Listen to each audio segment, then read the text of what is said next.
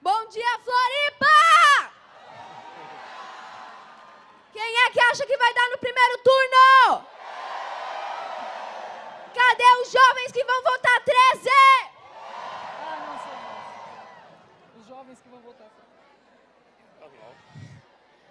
Cadê a mulherada?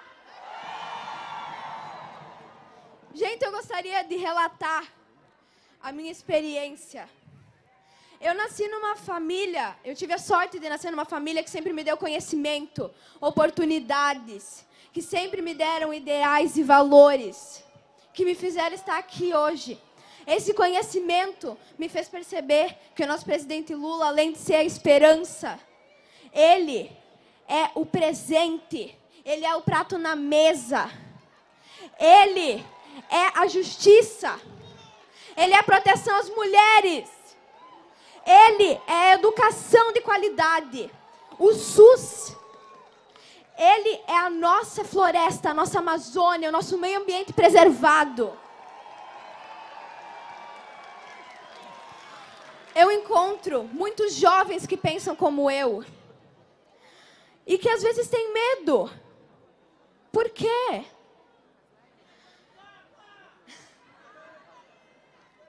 Ai, gente, desculpa, que eu tô muito emocionada. Estou me atrapalhando um pouco.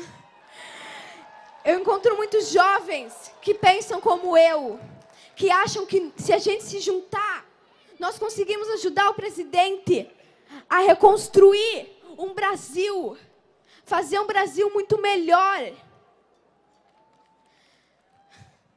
Presidente, gostaria de te pedir, para finalizar, que o senhor tenha um carinho especial com a nossa educação. Que o senhor cuide do nosso modelo educacional. Os jovens não querem mais ir para a aula, eles estão desestimulados.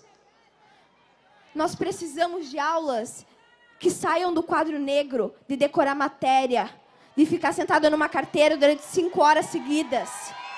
Nós precisamos de uma educação que leve oportunidades, que leve os jovens fora. Uma educação que crie jovens críticos de pensamento.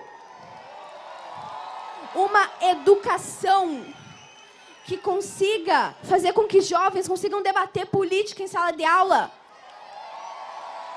Pois tudo na nossa vida é político. Muito obrigada.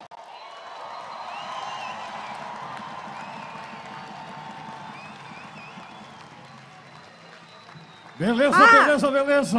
Só mais uma coisinha. Quem é que aqui é 13?